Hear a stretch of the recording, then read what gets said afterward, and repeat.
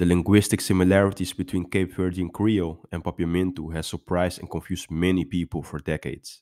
But today, I will explain how Cabo Verdeano gave rise to Papiamento.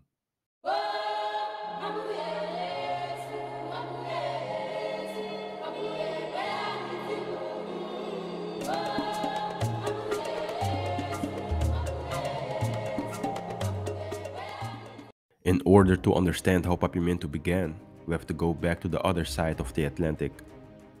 Papiamento started as a 17th century version of Cape Verdean Creole, implanted on Curacao, Bonaire, and later on on Aruba by the Dutch West Indian Company.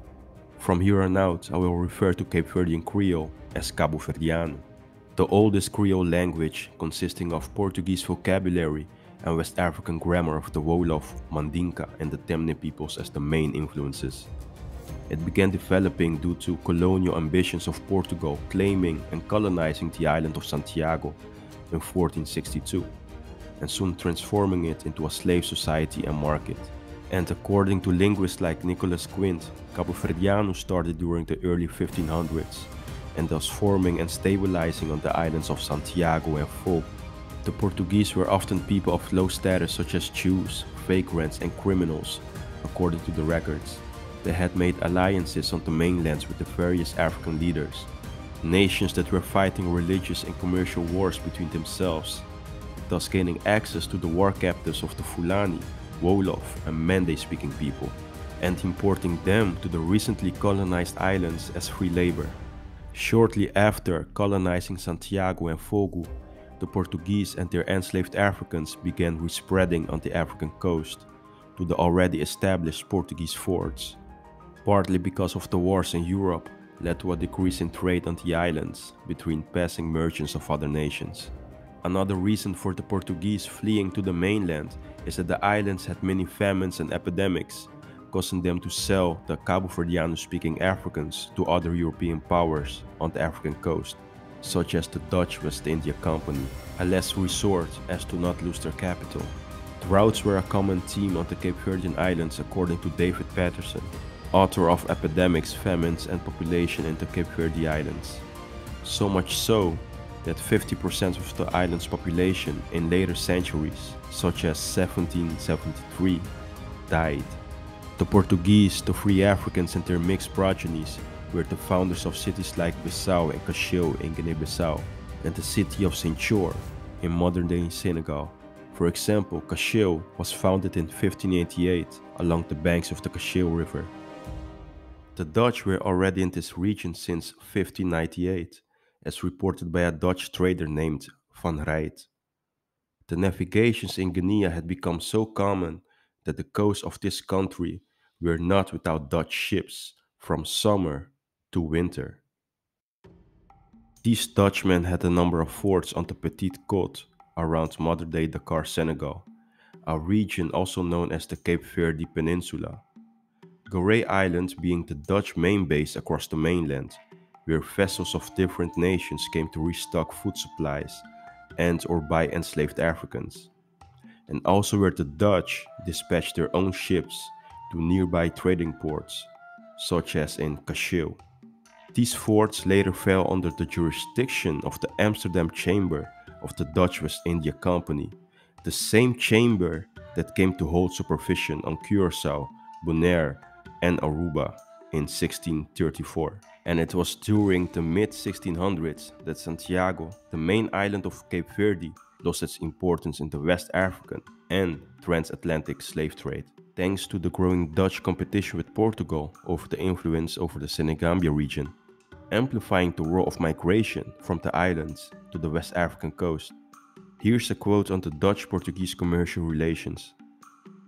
Either ships from Cacheu called here or he, the Dutch captain of Goree, would send there to Cacheu his merchants to trade, and from there, Goree Island, they drew wax and ivory each year, and each year two to three big ships would come here from Holland to load the mentioned merchandise which they brought to Amsterdam.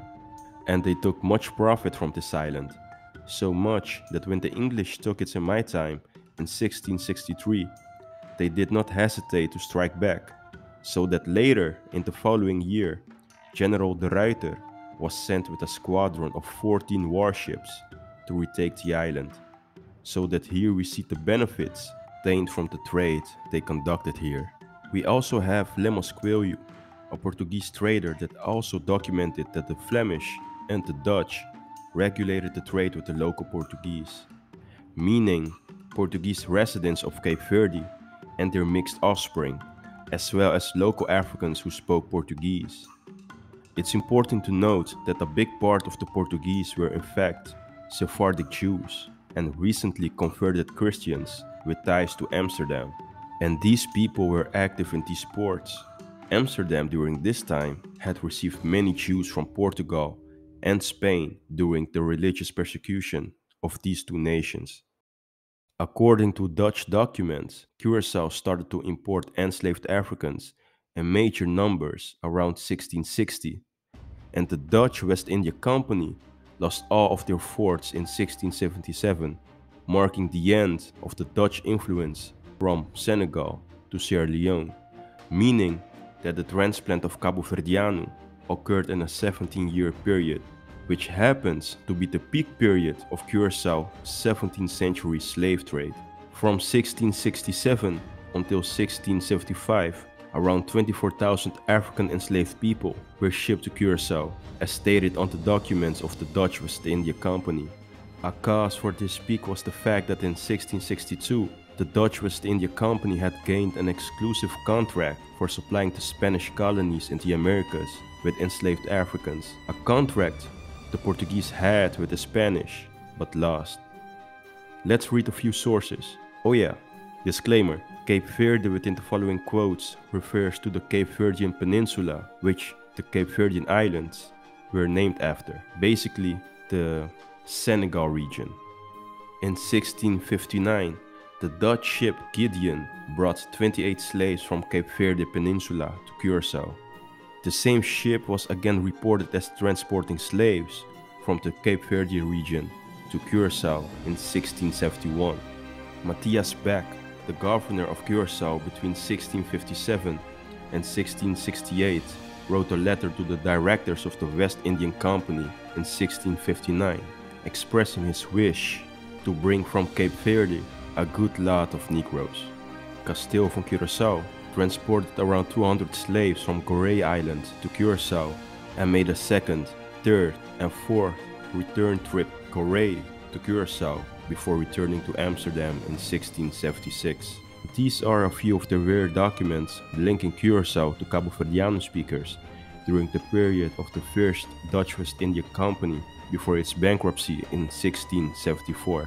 To make the connection even more obvious, in order to supply Curacao, the Dutch West India Company initially relied on their post in Senegambia, since the sea currents strongly favored a sailing route from Cape Verde to the Caribbean meaning sailing from Senegambia to Curacao was the normal route. Also, it's important to note that the Sephardic Jews from Amsterdam, who first lived in Portugal and Spain, had family living on the Cape Verde Islands and West African coasts. These were the early settlers on Curacao, which have been well documented in Curaçaoan history. For example, in 1650 to 1652, 12 Jewish families were given land to cultivate the interior of the island. Among those people was the Sephardic Jewish slave trader Abraham Drago, who had been buying slaves in and from Cape Verde for years. The same Abraham Drago was one of the first Jews to settle on Curacao in 1651. He had two ships, one which he partially owned with David Nassy another founding father of the Curaçaoan Jewish community.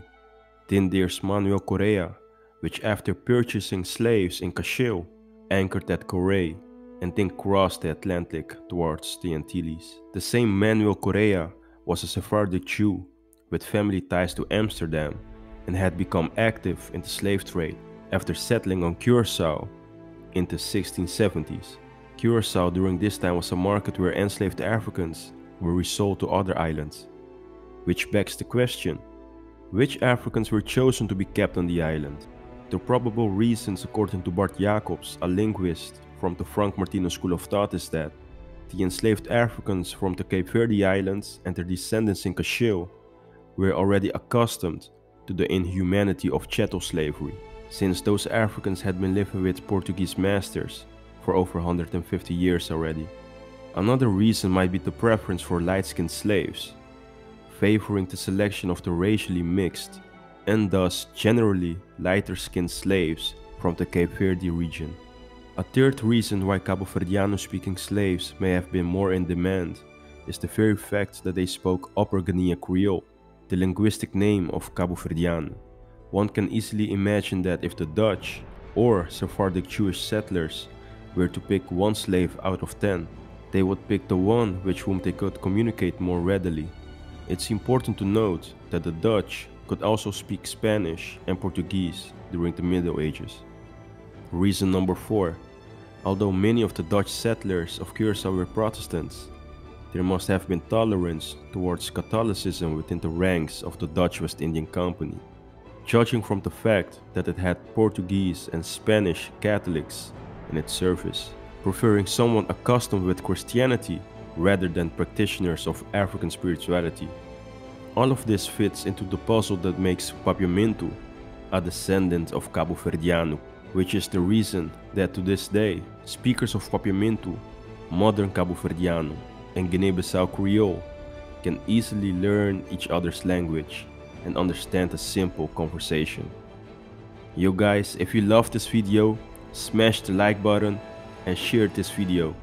Don't forget to subscribe and let me know in the comments if you think that Guinea-Bissau Creole deserves its own video. So again, in conclusion, it's time to remember what we have forgotten.